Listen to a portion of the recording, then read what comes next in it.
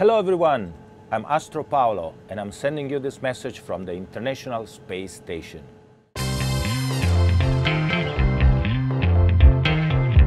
As an astronaut of the European Space Agency, I'm proud to be an ambassador for the Mission X 2018 challenge.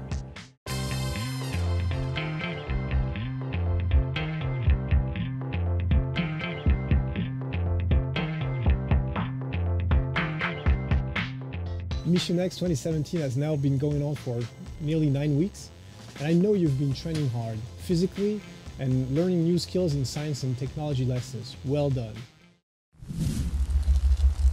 Wait, what is that? Just wait.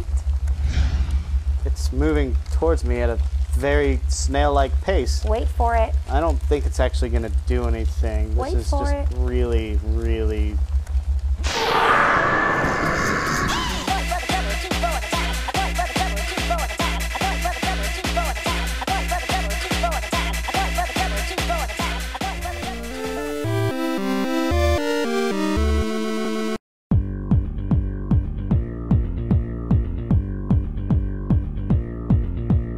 What is Video Game Hour Live?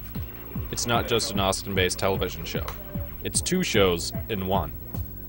For 30 minutes, we dish out the latest in video game news, reviews, previews, and trailers. Then we change things up a bit and play a game live on TV while we take calls from our viewers.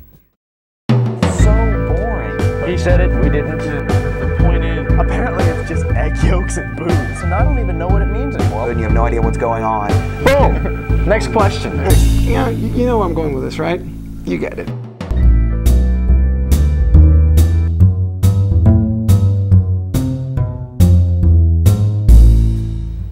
Welcome back to The Current. Um, we're going to be discussing in this block um, the upcoming uh, proposed smoking ban at the University of Texas. Um, for those that don't know, um, there's been a proposal to ban smoking on campus here at the university um, because if we don't, we'll have millions of research dollars pulled.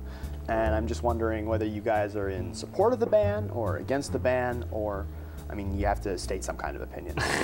I'm, I'm torn here because on the one hand, it is a research institution and we need we need the funds. Uh,